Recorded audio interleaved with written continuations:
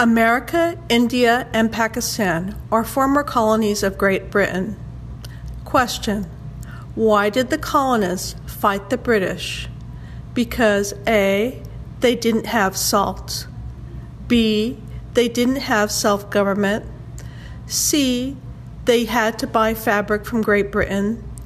D. They had to buy tea from Great Britain.